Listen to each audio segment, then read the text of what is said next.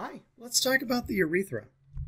The urethra is a passageway from the urinary bladder to the outside world.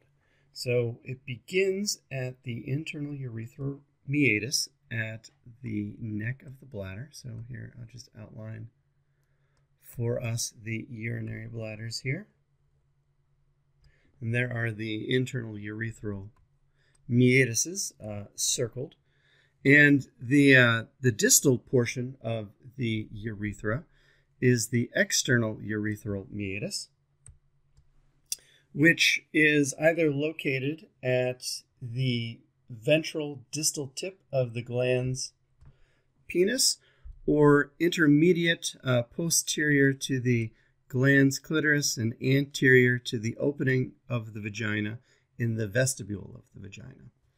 Um, so here we can see that the urethra is very straightforward.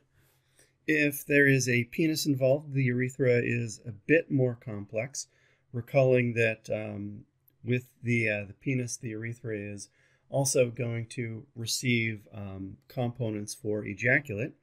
The urinary bladder here is sitting atop the prostate gland, and the proximal part of the urethra is known as the prostatic part of the urethra.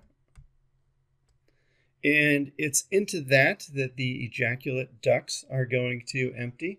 The ejaculate ducts are receiving contributions from the ductus deferens as well as the seminal vesicles. And then the urethra continues on. It's going to travel through the um, the pelvic diaphragm, so through the urogenital hiatus of the uh, urogenital triangle, and that is known as the membranous part. And then the urethra is going to enter into the corpus spongiosum of the penis. So as we can see right there. And this is the longest part of the urethra, and it's known as the spongy or penile part of the urethra. And it is um, nearly completely encased by the corpus spongiosum. So this is the urethra. Thank you very much for your time.